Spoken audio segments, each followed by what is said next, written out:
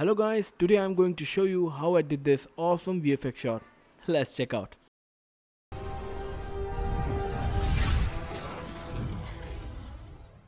As you know, 90% of VFX shots are consist of three main steps.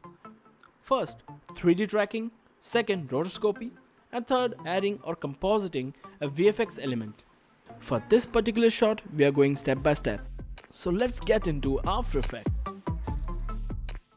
So first, duplicate the footage. Then on top one, mask the moving subject by pen tool and set it to inverted. We have to cover the subject in black to avoid any further tracking issues. For now, I just turn off it.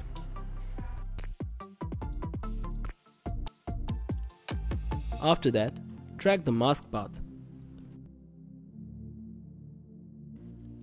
You can go frame by frame or you can do a track mask. Adjust the track where it needs.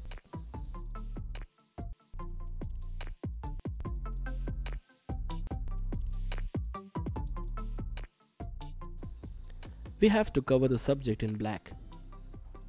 After tracking the mask, recomp the footage and rename it as mask.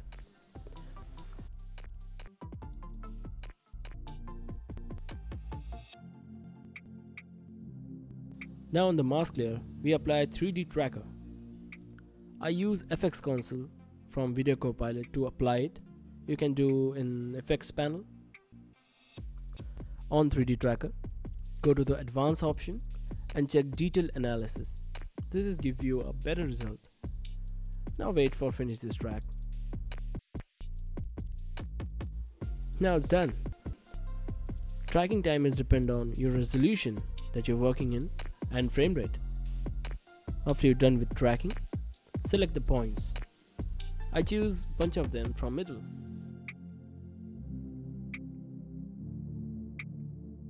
Then right click and create create solid and camera. Then I adjust the plane to match the front wall in the footage. For this shot, this is a good reference. To see better, you can apply the grid effect. This is good for referencing.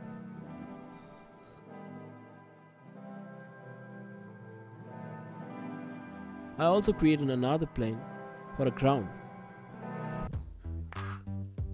You can do as same as previous plane, but at this time we have to create horizontal plane for ground.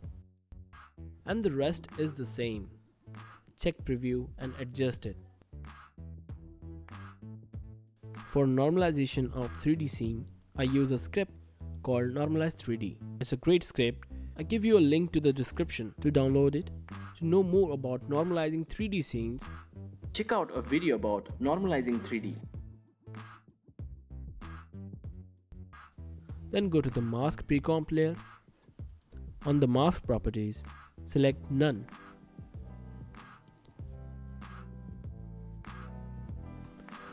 Now we are going to do a rotoscoping session.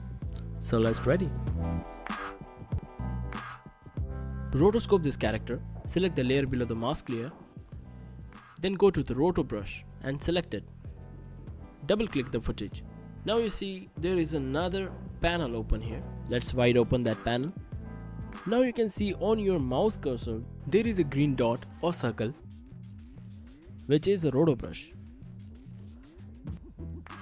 By default, it's switched to green. To increase or decrease the size of brush, you can use Ctrl and left click drag. To select the areas. To deselect any part, you can click Alt, drag your mouse with the left click. Next, selecting the character. To select your character, make outline over it by roto brush, like this. Then it automatically select the character. If it's exceeding the boundaries, then you can do alt and drag over it. One quick tip is you have to be in full resolution while rotoscoping. It gives the best results. Normally after effects rotoscope can skip 10 frames at a time but in this case we go frame by frame. To go one frame forward press page down button on your keyboard. For backward it's page up. I do this thing frame by frame It takes time but results are satisfying. After you're done with the rotoscoping, click the freeze button below. Basically, it locks your selections.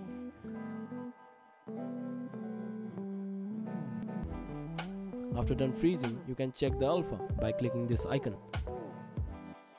Now close the roto panel and let's back to our comp. To see our roto character, hide the upper layer. Now you can see the roto is rock hard. Now we have completed two important steps. First is 3D tracking and second is rotoscoping. Now the third important stage is applying VFX elements. First pre-compose roto layer and name it main shot. Now I have to include some glitch assets to my composition. To download these assets, check out the link in description below. Now place these assets below the main shot. Now clean up the workspace a little bit. At this way, you can see the glitch wall is behind the character. Remember the reference wall we have created? We have to copy the orientation and the position value from that wall to our glitch assets in 3D space. We have to copy the parameter from reference wall then paste it to our glitch layer. Make sure you convert glitch layers into 3D. Copy the position and orientation values from wall layer to the glitch layer. You can click on parameters and control C to copy and go to the main glitch wall and on the same parameter press Ctrl V. After setting a position of glitch layer, you can adjust it in 3D space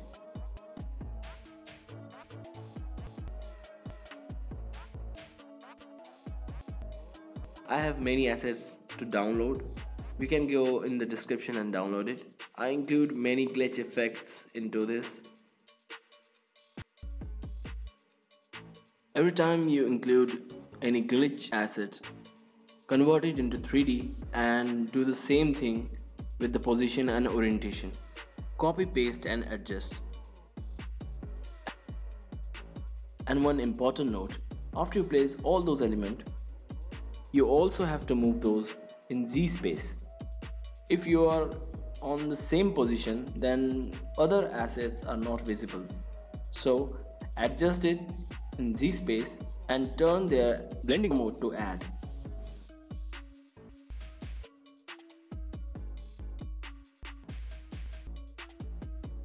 Make sure your layer blending mode is set it to add except the last one to make the wall black. I import different glitch effects into the center position. Set a right time to set your glitch effects. Like in this shot, the character is opening the barrier. So I place the circle glitch effect at its main point.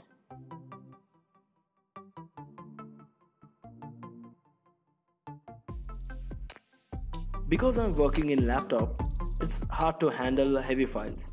So I just select them all and place it below and hide it. To work with less heavy files, I export glitch effects of this comp separately. Now it's a single file, that's why it's easy to handle. Now I just import rendered glitch footage and place it below the main comp. Right now we really don't need to 3D track this because it already tracked and exported. On original project I used alpha matte technique to dissolve the character into the wall but it's time consuming and it's a quick tutorial. For now I just do it in traditional way by masking it. Select the main shot and draw a mask over it and set it to subtract. To animate a mask path, go to the mask path properties and click the time icon to animate it. And to the end, adjust the mask and shrink it down. At the end, you can remove it from the frame now your effect is done. Go to the feather properties by pressing F on the keyboard and adjust it as your way. By clicking F on the keyboard, you can include as many as stock footage in it, sparks, fire anything you can add it in this shot and make it better. On the main footage you can add curves effect to color correct it.